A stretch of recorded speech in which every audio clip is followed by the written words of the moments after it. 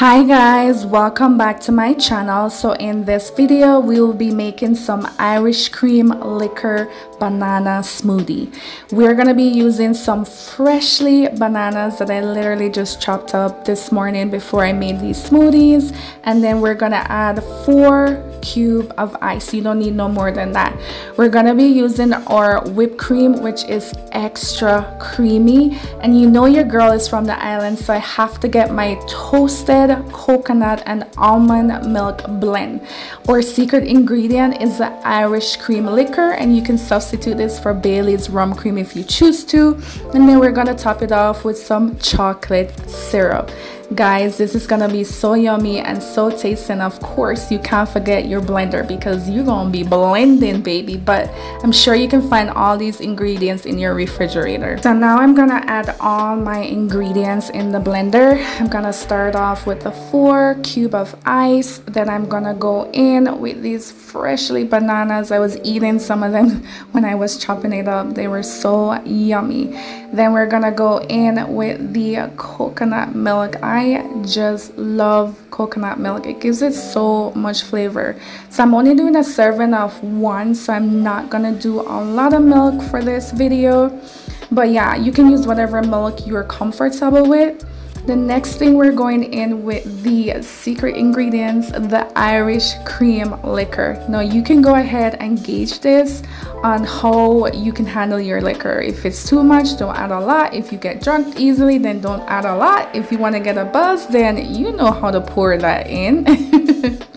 so the next thing that we're gonna add is three tablespoon of this chocolate syrup. This chocolate syrup, I literally got it um, at Smith's grocery store and it is so yummy guys. Like this is what you're gonna substitute for any sugar or honey or anything like that. Like this will bring the sweetness or the flavor that it actually needs.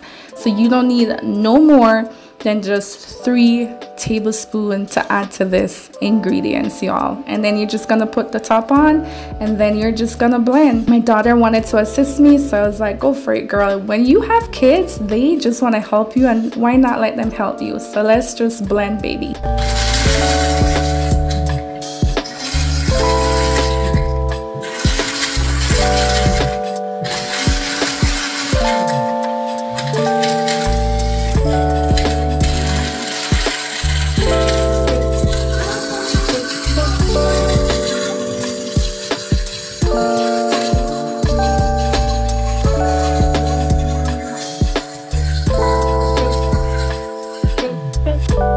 So this is exactly how I want it to look creamy and now I'm gonna go ahead and add some chocolate syrup with my little helper, my daughter Khaleesi, into this bowl because we are gonna line the rim of our glass today with some chocolate syrup for tasting.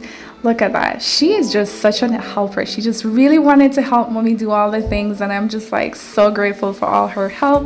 But you literally just toss the, the rim off the glass in the chocolate syrup to your liking and then after which we will definitely just go in and add a little bit more syrup for just like a cute little splash of design like look at that I look like I was like a bartender like I was made for this but no I watch a lot of YouTube but now we're gonna pour in that mixture and look how good this is. It's up to you. You can make it thick if you choose to.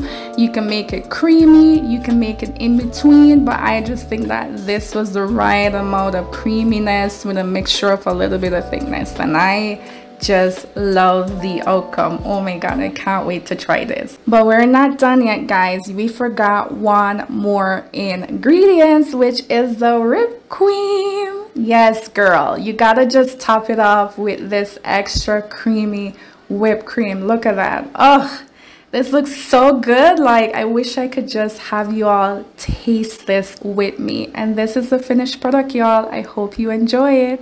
Thank you for watching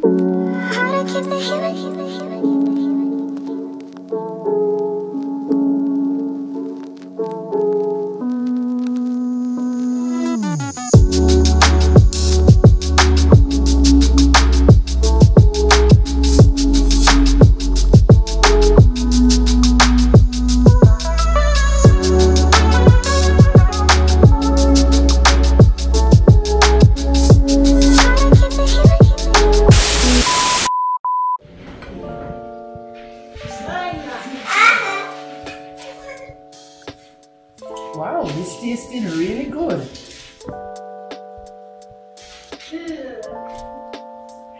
Lord, you need to give me the ingredients for this. so you love that. Petite Life Kitchen coming nice. soon.